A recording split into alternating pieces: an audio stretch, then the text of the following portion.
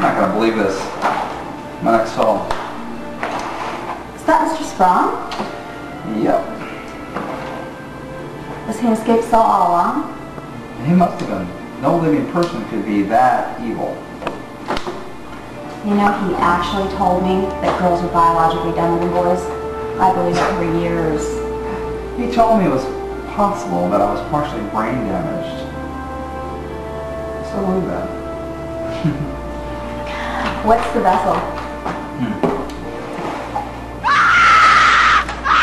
Thanks. For once, this bounty hunter thing doesn't completely suck.